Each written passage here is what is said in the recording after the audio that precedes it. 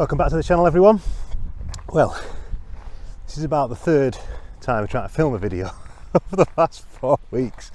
I'll put you some footage up now of my last attempt. I went to um, the Roman fort at uh, Hardknott Pass in the lakes Give everything that gold and I thought, glow, which she's got. clear blue sky, Struggled a little bit. it's uh, you can't you're right. to the Roman. I'll find something that'll be worth uh, worth videoing. Absolutely horrendous. My compositions were rank amateur. They were awful? They were absolutely awful. So I binned that video off, and I thought because although I'll show failures on this channel, I've got to have a little bit of self-respect with a bit of it. And um, if I put that out, I think I would have pretty much lost it all. So I didn't. Anyway, on to today's video. So I've come to a place called Magpie Mine, which is in Derbyshire, and I've seen some photographs of this, and I think I've got an idea in my head of a long exposure with the clouds streaming over its head, probably black and white.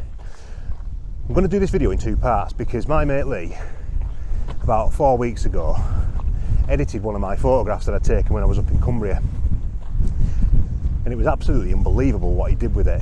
And he showed me this video on YouTube about how he sharpens his photograph. So what I'm going to do, I'm going to do this bit in the field where I'll find a few compositions, we'll take a few photographs as we normally do.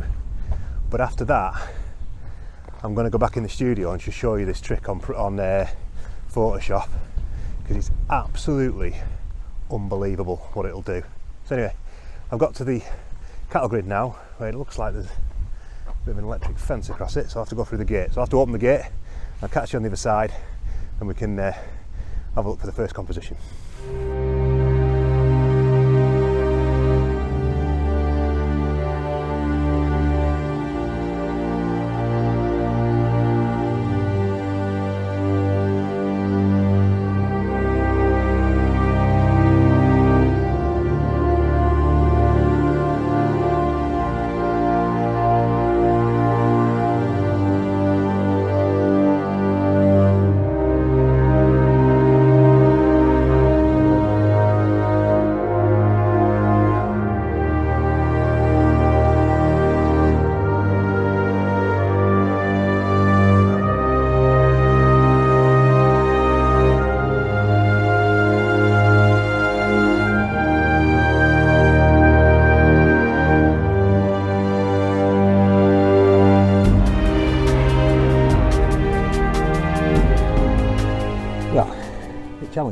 being honest.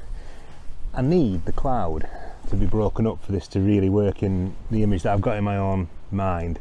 But I found a little composition here using uh, using this old looks like an old winch and it's quite nice.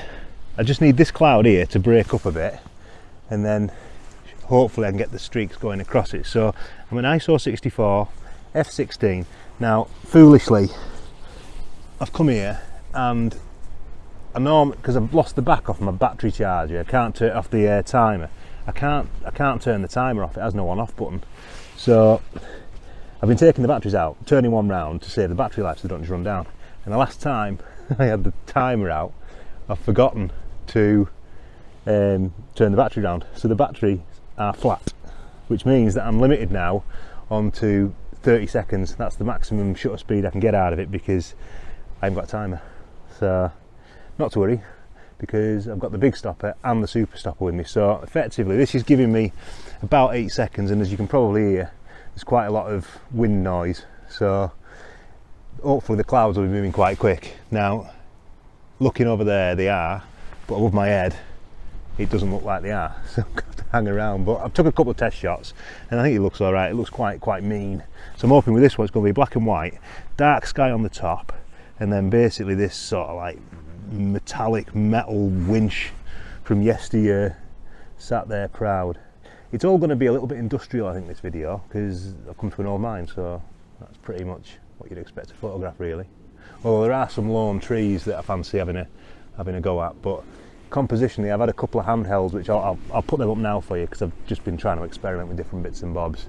I'm trying to take a selection of photographs. So when we go back in the studio later on in the video I've got a bit to work with I can show you the different different effects that this uh, this sharpening tool has but I'll crack on, I'll take a couple of pictures here now, and then uh, I'll uh, I'll put them up if they're any good. So ISO 64, f16, 8 second exposure.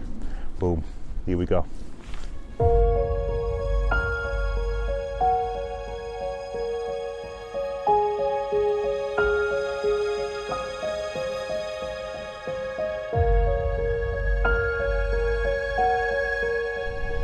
So I found another little composition here. This uh, this cloud's breaking up, so I'm going to find something in a minute that hopefully is looking into the wind, so the cloud's going to blow over my head and give those streaky effects. But just came across this other little winch here, and it took probably spent about 10 minutes trying to compose this, if I'm being honest, because what we're trying to do, that winch there, I wanted that as my main focal point, and I wasn't really bothered about. You can probably see there's a building behind it, and there's a chimney as well and I wanted to try and create a sense of depth. So what I've done is I've put the, the apertures at f2.8, so the winch is going to be in sharp focus.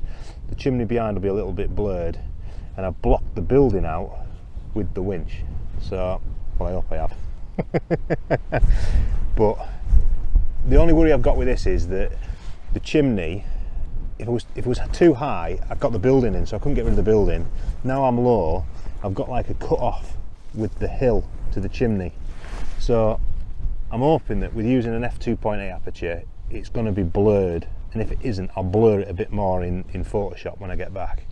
But it looks quite nice on, on camera. And just, I'll show you, I'll let you have a look at the, let you have a look at it. So you can see the, um, you can see the winch is the main focal. That house is blocked out completely by that big wheel. You've still got the chimney in, and then you've got the uh, the trees next to it. Now, f2.8 is going to be a shallow depth of field, so hopefully it's blurred. I've bumped the ISO up to 100 now because I wanted to try and get a faster shutter speed. So I'm at one two hundredth of a second now to try and stop the grass moving, which is around the winch. Now it might need to be faster than that because it's quite strong this wind, but we'll see. I think I might do a long exposure this because the cloud's broken up now. So get the big girl out, slap her on the front, see if we can get a 25 second exposure out of it and see what that looks like. So I'll put you back on when I find the next composition. I'll stick these images up now for you.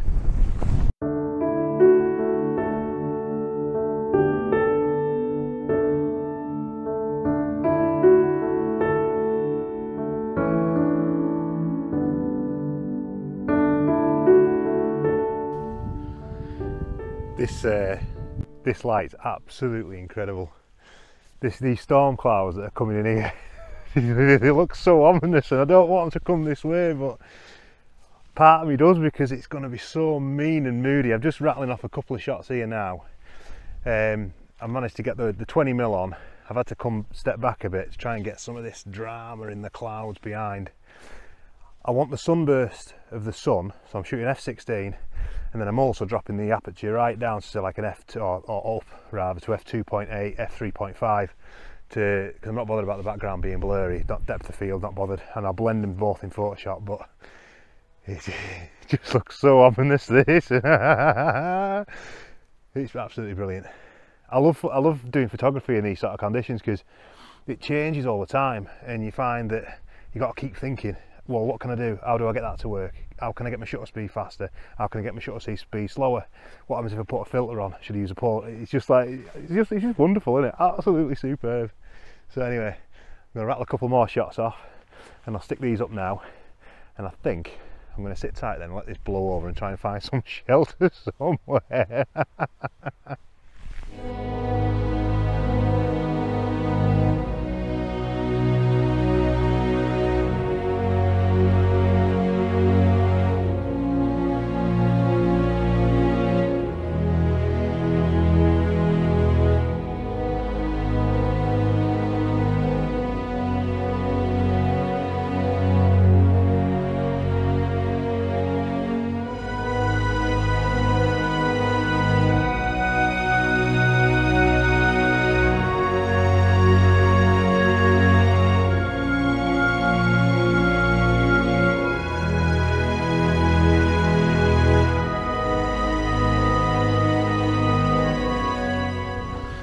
So it's uh, freezing cold. That rain hasn't, it's not hit here yet, but it's on its way, so I'm doing one I think we've got some decent know, shots there to play with. But what a brilliant place! What a brilliant place! I'll put some um, I'll put some stuff in the uh, in the description about what this mine used to be and stuff like that. If you can find that information on it. But um, yeah, absolutely stunning. But like I said at the start of the video, I'm going to go back to the studio now, and I'll put you back on when I'm back sat down, and uh, I'll show you this. show you this sharpening tool in Photoshop. It's dead easy to use, and I reckon there's a lot of professionals that are using this, and they're not telling you. now I might be completely wrong. Maybe they just use the sharpening tool on on on Lightroom with a mask. But this thing is um, it's serious serious kit. I mean, I I'm using this pretty much in everything I do now. All my photographs I'm running through Photoshop and running the sharpening tool on. So enough rambling. Let's walk that way, and I'll see you when I'm in the studio. So I'll tell you what, that's absolutely freezing in that place. British summer, British summer. I'm not going to dwell on this for a long time. I just think it's worth having a look at it because when I looked at it, I was like, wow, that's uh, that's pretty special. And it's not the standard um, sharpening tool that you use on Photoshop. So effectively, if we dive in here, I've got an image that I took on the day, which which was in the early part of the video. And effectively, I've got the image of this nice chimney. So what we do, I'm in Lightroom at the moment. I'm just literally going to click right and then edit in Photoshop and it'll it'll drop it into Photoshop. I've got into this. Uh, this isn't a plug because I'm not sponsored, but this IPA punk is absolutely gorgeous. so anyway, it's going to open itself up in um, in in Photoshop when it finally decides it's going to do it. Once it's in here, we've got to turn it into a smart object. So effectively, you need to, you need to control J. That's going to create a copy. And then if you go into up here into in, uh, layer, smart object, convert to smart object. So that's going to convert that layer into a smart object.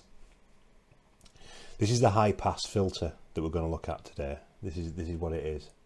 So effectively that's converted that now to a, to a smart object.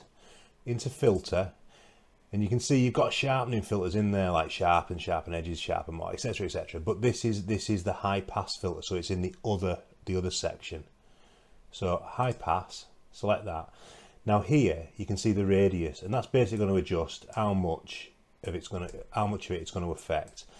I less is more with this, less is more. And I tend to have it about 2.1, 2.3, something like that. You really notice the difference on this when you print. That's what that's what I found. You really notice the difference when you print. So 2.1, okay. Now you can see it doesn't, it's just a grey screen. So effectively you've got to change this here now in where it says normal, change that to, I usually use soft light. So soft light. And then we need to create a, a mask because it's applied to absolutely everything at the moment. So that icon there where it says add layer mask, if you hold down the alt key, click on that and it'll invert the mask. So now it's black. Come back over here, select the brush tool, make sure that white is on there. And then basically this is going to allow you then to um, to effectively colour where where you want to sharpen. And the beauty of this system is that say you've done this and you've you've decided that you've over sharpened it, you can go back in and you can actually adjust the pixels again after you've coloured it, after you've done it, after you've shaded it all in. So once we've done that, you, on the screen it's probably not going to look like it's um, it's made much of a difference, but I absolutely guarantee if you do this on your machine, it will make just it's, it's massive. So do a few of the tree, bit of the trees. You don't have to be massively accurate. Be as accurate as you want. Use that little white button black box there to show you the white area is obviously the bit that is revealing, black to conceal. So effectively that's it. So once I've done that, you can basically go back up to up to file. I've done I, with this. I like to do all my localized edits and all my global edits in Lightroom, and then I'll throw it into Photoshop to do this is like the the final the final edit just to make sure that I've got everything balanced because when you drop this into Photoshop your settings for Lightroom they're not they're not copied back over. So make sure you've got your, your mix your, your mix. Make sure you've got your your, uh, your image so you're happy with it before you drop it in. And then literally I just save as comes in here TIFF drop it into the folder that you uh, that you want. Well, I think well, I'm not sure where I was with this one. I think it'd be new Anyway, we drop it there, rename it whatever you want. Um, it'll be it'll be Magpie Mill. There we go, Magpie Mine. So you got the edit there. Drop it in. Save it there. Non IBM. Boom. And it's that easy. And that that's the thing. It, it's I, I'm absolutely convinced that there's a lot of people, especially on like uh, social media, that are using this filter, this sort of high pass filter, rather than the standard sharpening tools. Because the beauty of this is that one, you can adjust it more or less when you've actually sharpened it if you want to. If you've done too much, you can take it off. If you've not done enough, you can do more. But it's the fact that you can set up separate layers. So if you've got a picture of, say, I don't know, some water, the video that I got sent by, by Lee was this water, and he sharpened the, the, the rocks underwater, and then he would sharpen the mid ground, but he wouldn't sharpen that as much, and then he'd do the bit on the end, and it's at the background, and it's just, it's incredible. The fact you can do these sort of three layers of sharpening, whereas sort of the sharpening, even with the mask tool in Lightroom, it's much more of a global global tool, whereas this is absolutely pinpoint. So I hope that's been I hope that's been useful. I hope you enjoyed the, the bit where I was in the field. Um, and fingers crossed this weekend I'll be able to get out again if the weather permits and we'll see where we go. But thanks very much for watching. And as always, if you like the content, give us a thumbs up, like, subscribe, do do whatever you, you normally do. And until next time, I'll see you around.